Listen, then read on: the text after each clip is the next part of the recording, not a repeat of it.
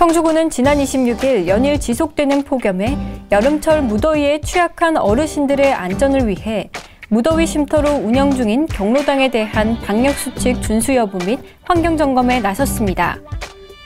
현재 무더위 쉼터로 운영 중인 경로당에서는 감염관리 책임자 지정 등 방역 지침을 준수해야 하며 어르신들을 위해 행복도우미를 배치해 건강한 노후를 위한 다양한 프로그램을 운영하고 있습니다.